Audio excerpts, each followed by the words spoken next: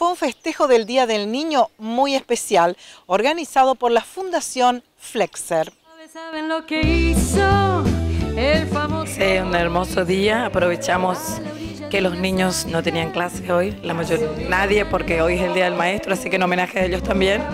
Eh, le invitamos a todos los niños del sector oncológico a participar y con sus familias eh, en este hermoso lugar que tan donosamente nos, nos brinda el Club de Regatas Corrientes, el Salón de Fiestas.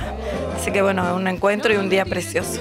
Un día muy especial, eh, dentro de todo lo especial que ustedes le brindan a ellos los 365 días del año. Eh, el día especial es un día de juego diferente a lo que pueden hacer eh, no solo en su casa, sino en el hospital. Es un espacio diferente. como podrán ver, la animación es distinta es gente especializada que viene también a brindarse, manteniendo todo lo que, eh, permitiéndose todo lo que ellos puedan hacer, ¿no es cierto? Así que, bueno, ellos están felices. Recordemos cómo trabaja la Fundación Flexer en Corrientes. Y bueno, la Fundación Flexer es de ayuda al niño con cáncer, así que hacemos acompañamiento, como dijiste, durante todo el año principalmente no solo al niño, sino a todas las, gestiones que requieren los papás para poder llevar adelante el tránsito de una enfermedad como es el cáncer infantil.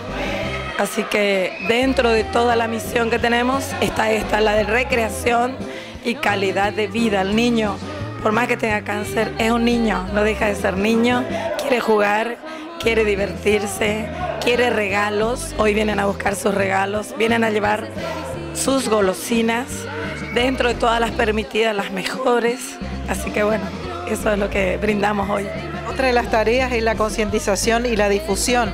Hace poco estuvieron en Paso de la Patria, en la pesca del Dorado, con este tipo de misión. Sí, ahí fue una más de sensibilización y concientización de la sociedad para que desde todos los puntos podamos, desde una casa o desde una gestión diferente, también apoyarlos, no solo la fundación, todo esto sale con la labor de, los medios, de otras personas particulares, de empresas que también eh, conscientemente lo hacen para ayudar también a estas familias. Así que fue un encuentro aprovechando la pesca del dorado, donde hubo mucha convocatoria eh, para hacer un poco de de marketing y, sensibilización para que ellos vean las posibilidades desde nuestros sitios eh, de colaborar con ellos. Todo lo que se, se dona, se brinda, eh, se gestiona y se publica en el Face de la Fundación Corrientes.